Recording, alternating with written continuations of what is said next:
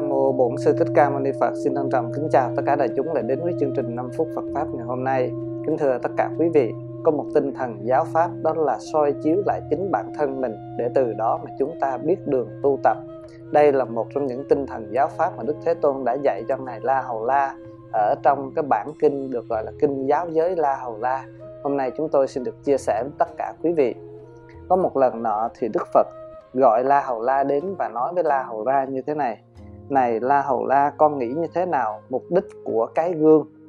La Hầu La mới thưa bạch Đức Thế Tôn, cái gương là dùng để soi chiếu. Thế là Đức Thế Tôn mới nói như thế này. Cũng vậy, La Hầu La hành động về thân được thực hiện sau khi đã soi chiếu nhiều lần. Một hành động về lời nói được thực hiện sau khi đã soi chiếu nhiều lần. Và một hành động về ý được thực hiện sau khi đã soi chiếu nhiều lần đây là ba điều thân khẩu và ý mà chúng ta cần phải thường xuyên quán chiếu. Đức Thế Tôn dạy như thế này, khi con muốn làm một cái hành động về thân, con hãy quán chiếu hành động ấy như thế này. Hành động về thân mà ta muốn làm có đưa đến tổn hại cho chính mình hay tổn hại cho người khác, hay là tổn hại cho cả hai hay không? Đây có phải là một hành động bất thiện về thân đưa đến hậu quả khổ đau, quả báo khổ đau?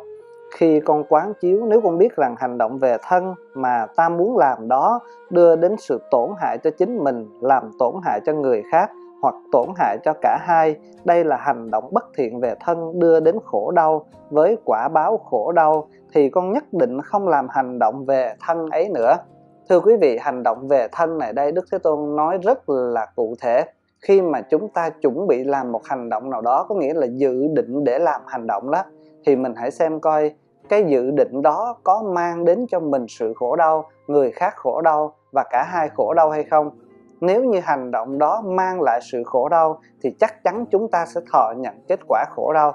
Rồi tiếp theo đức phật dạy la hầu la rằng, này la hầu la, khi con đang làm một hành động về thân thì con hãy quán chiếu hành động ấy như thế này. Hành động về thân mà ta đang làm đó có đưa đến tổn hại cho chính mình, tổn hại cho người khác và tổn hại cho cả hai hay không? Nếu mà hành động mà ta đang làm đó mà gây tổn hại cho mình, tổn hại cho người và tổn hại cho cả hai, thì hành động đó chắc chắn sẽ đem đến sự đau khổ và quả báo đau khổ. Chúng ta sẽ cố gắng ngăn ngừa hành động đó. Và tiếp theo đức thế tôn dạy nữa, hành động mà ta đã làm rồi đó, dựa trên cái thân này đây, đối với mình, đối với người và đối với cả hai, hành động đó có mang đến sự đau khổ cho mình cho người và cho cả hai hay không. Nếu hành động mà ta đã làm đó mang đến sự đau khổ, thì ta phải chịu kết quả đau khổ. Và tiếp theo đó là hành động về miệng và về ý nghĩ cũng tương tự như vậy. Khi chúng ta chuẩn bị nói ra một điều nào, hoặc là trong đầu óc của chúng ta tưởng tượng, suy tư, nghĩ ngợi một điều gì, thì hãy nhớ rằng điều ấy khi chúng ta vừa mới móng khởi lên, hoặc là khi chúng ta đang làm hoặc là khi chúng ta đã làm xong rồi mà mình quay nhìn lại, thì lúc bấy giờ chúng ta hãy chiêm nghiệm xem hành động đó có mang lại sự khổ đau cho mình, khổ đau cho người và khổ đau cho cả hai hay không. Nếu như hành động đó mang lại sự khổ đau thì tốt nhất chúng ta đừng làm, vì chắc chắn rằng chúng ta sẽ thọ nhận kết quả khổ đau từ nơi những điều mà chúng ta đã làm đó.